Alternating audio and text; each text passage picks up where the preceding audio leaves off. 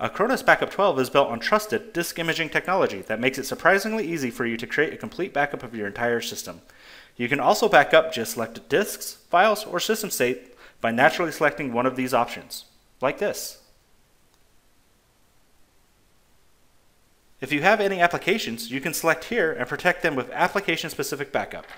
It's important because a consistent backup is faster to recover from, and you can quickly recover individual items, like emails.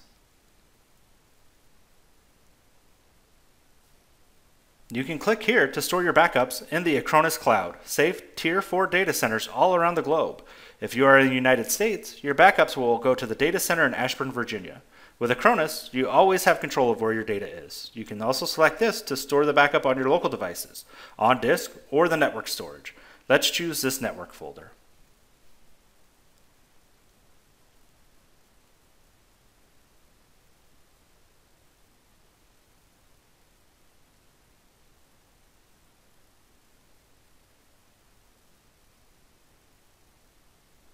As you can see, you can simply drag this switch to encrypt the backup with strong, government-approved AES encryption for the safety and security of your data.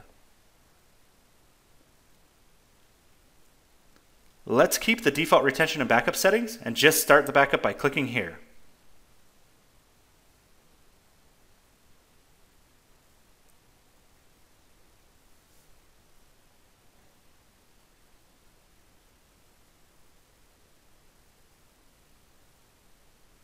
The backup is now complete. Looking over here, we can see the storage, and now we can see the backup we just created. It's the same incredibly reliable disk imaging backup that millions of users trust and use daily.